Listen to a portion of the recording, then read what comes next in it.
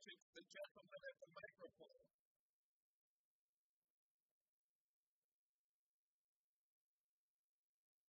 He recognizes Mr. Lombardo.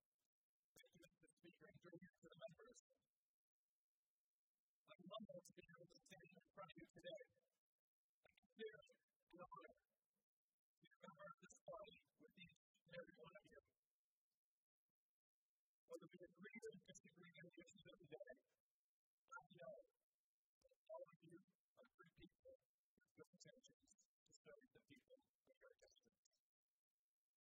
I'm very proud to be your company. The issue at hand is that a lot of secure community strategy helps ensure that criminal illegal aliens are identified and removed from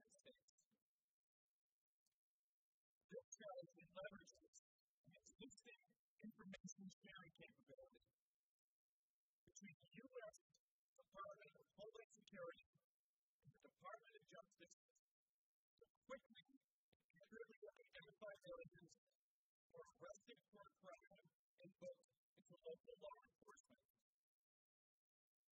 As fingerprints managed, immigration and customs enforcement determines if the immigration enforcement action is required, considering the immigration status of the person, the severity of the crime, and the person's criminal history. This program has successfully implemented in the city of Boston. It was first estimated for 1.9 million criminal aliens in the United States, of which nearly 25,000 reside here in Massachusetts. It's time to implement this program throughout the Commonwealth. This program prioritizes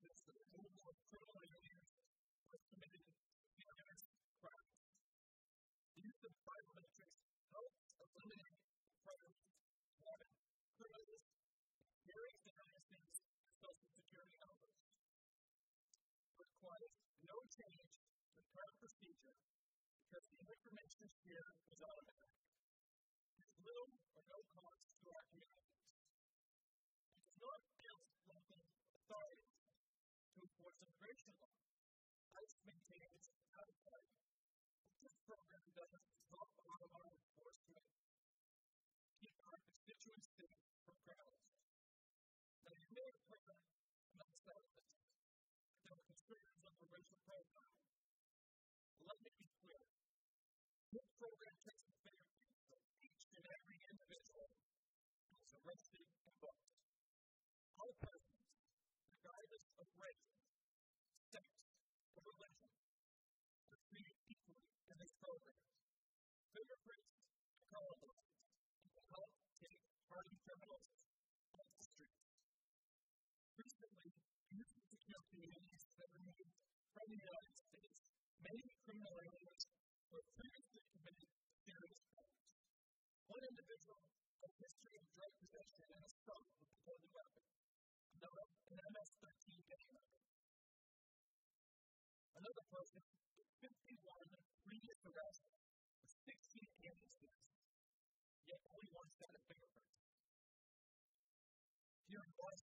Committed who had committed rape and assault with intent to kill was removed from the United States.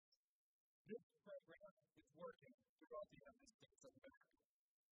Sadly, the delay in this program's implementation continues. This program has to be implemented by 2013, and the longer we wait, the more vulnerable we make our legal residents. It will be a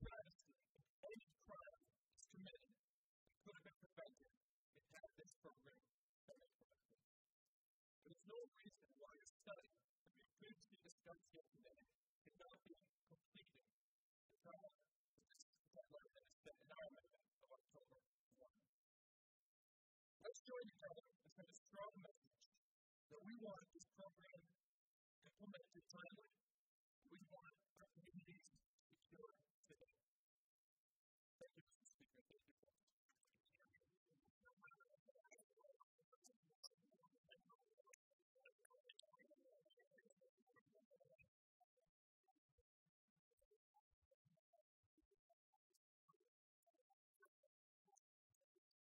Roll.